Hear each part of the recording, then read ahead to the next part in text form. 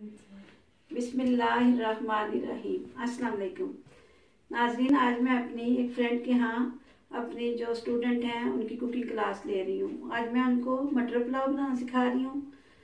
ये हमारी जो बेसिक चीज़ें हैं, जो बच्चे आसानी से सीख सकते हैं, चावल बनाना, दाल चावल बनाना, लेकिन आज मैं इनको मटर पुलाव की सिखा रही हूँ। ये मटर है, एक कप मेरे पास मटर है, ये फ्रोज़न है।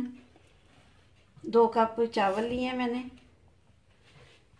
मसालों में गरम मसाला, ये साबुत गरम मसाला। ये एक टेबल स्पून भर के थोड़ी सुरख मिर्च, हल्दी थोड़ी सी डालूँगी नमक, अदरक, लहसुन का पेस्ट, ये भर के एक चम्मच, टमाटर, सब्ज मिर्चें और एक अदद प्याज। और आज चाहिए मुझे बनाने के लिए।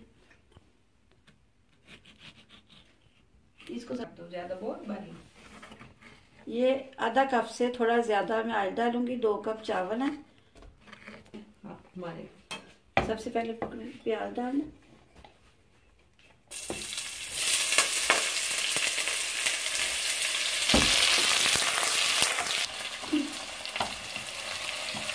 बेशक बड़ी काटने से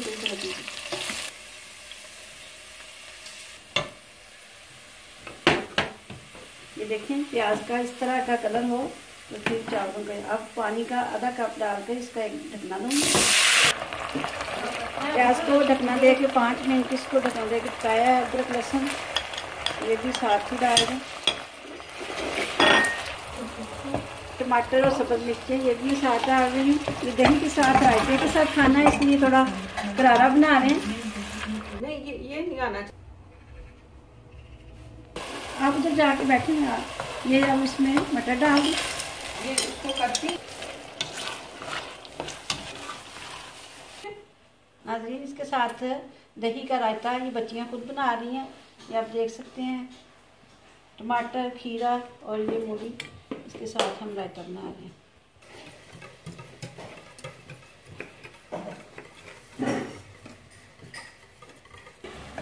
अब मैं इसमें मसाले शामिल करने लगी हूँ।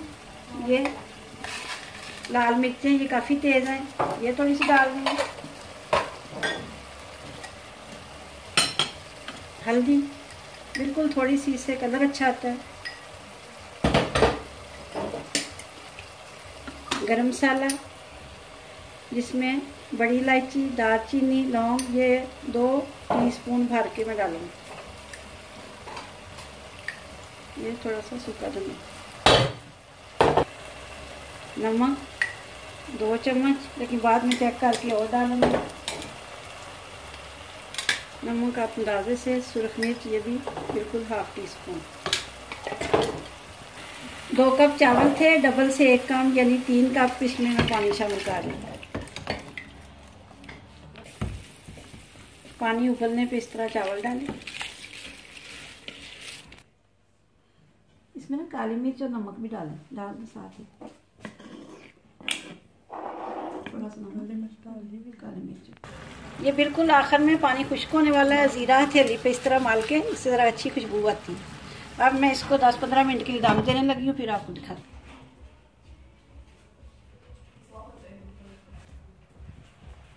ये तकरीबन पक चुके हैं, अब मैं आपको इसकी प्रेजेंटेशन दिखाती हूँ।